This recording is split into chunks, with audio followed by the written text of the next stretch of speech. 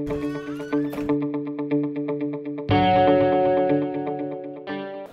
bah, cette année, je vais souhaiter une bonne Saint-Valentin à mes joueurs, à mon équipe, à mon club, parce que bah, j'ai pas de Valentine, donc je, suis, euh, je, suis, divorcé et célibataire. Donc euh, cette année, j'aurai pas d'attention, d'affection particulière à partager pour la Saint-Valentin. Je vais me concentrer sur, le club, sur le Raja et, souhaiter une, bonne Saint-Valentin à mon club. Et puis en, bien évidemment à, à, tous les, à tous les supporters et tous les supportrices, tous, tous ceux de leur souhaiter de de passer des bons moments avec leur être, euh, avec l'être cher et puis, euh, et puis en leur disant qu'il ne faut pas attendre la Saint-Valentin pour euh, passer un bon moment avec l'être aimé parce qu'autrement ce serait, un, ce serait un, peu trop, un peu trop rare. Voilà, qu'ils en profitent en tout cas et plein d'amour à tout le monde.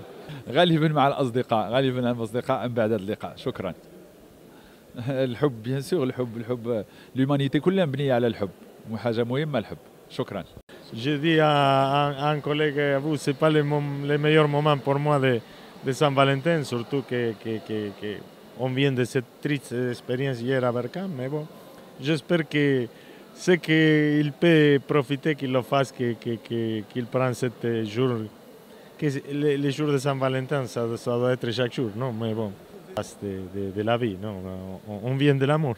On est créé pour l'amour et c'est le plus important. Mais on vit des moments difficiles, hein, surtout au niveau financier, manque de travail, tout ça, et parfois on ne prend pas attention à les vraies, vraies choses de la vie comme c'est l'amour. Merci. قبل ما تخرجوا ما تنسوش تابوناو في العشان يوتيوب وبارطاجيو الفيديو وديروا جيم وتابعوا الدار على مواقع التواصل الاجتماعي